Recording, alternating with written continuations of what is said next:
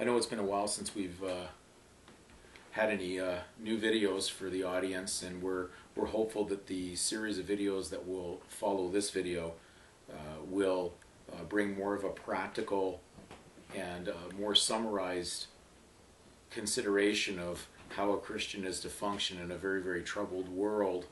uh, that we now seem to have to exist in. So we're um, we're gonna go over a couple simple points, and uh, one of the uh, one of the things that seems to keep coming out around uh, anybody who seems to be wanting to be, wanting to be separate uh, from the current system that we see out there, the current world, uh, seems to be that there is automatically a link, especially with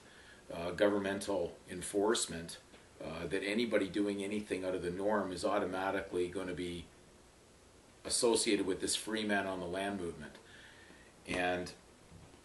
I'm very much aware of it uh, uh, due to the fact that uh, it seems to be coming up uh, in discussion uh, where I've had friendly conversations with police enforcement,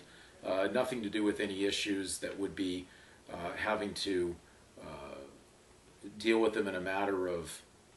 jurisdiction, just conversations that I've had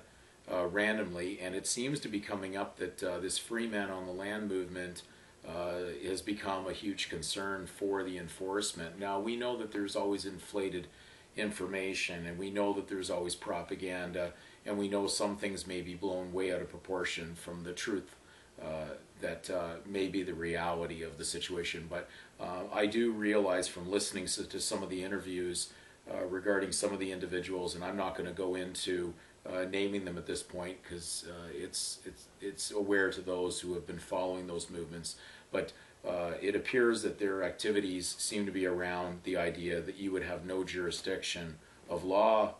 uh, to enforce against them,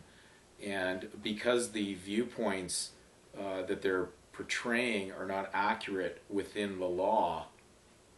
people unfortunately are being misled uh, by this information and so therefore, I want to clarify the fact that the information that we provide in these videos, especially because we are only providing that the solution is found in the Bible, it is God's Word.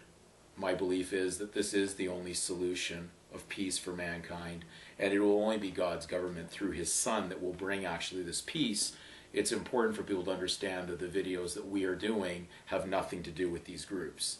Uh, and therefore, to an extent, it should offend any Christian to even be associated with these groups, even though at times some points they're making seem to be valid,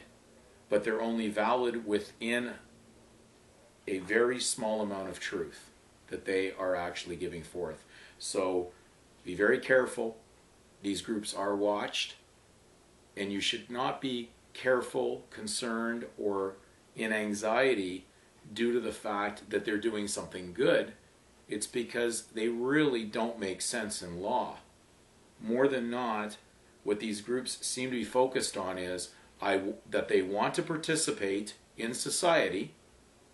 as they feel they want to, but there will be no laws to govern them when it is not convenient. What is attached to any duty, debt, or obligation that is associated with their behavior. So we want to be very careful on our research when we're just automatically saying, boy, that sounds really good because it sounds like freedom. But what they're really doing, uh, as far as a Christian viewpoint would be, is causing war. And therefore, these people are marked. And I want you to be cautious um, that if you're trying to bring your Christian belief in with a free man on the land movement, you're mixing oil and water. And they don't mix. So there's much confusion there, and my my point uh, for this for this very small video is do not be involved with these groups if you are proclaiming yourself to be a devout Christian.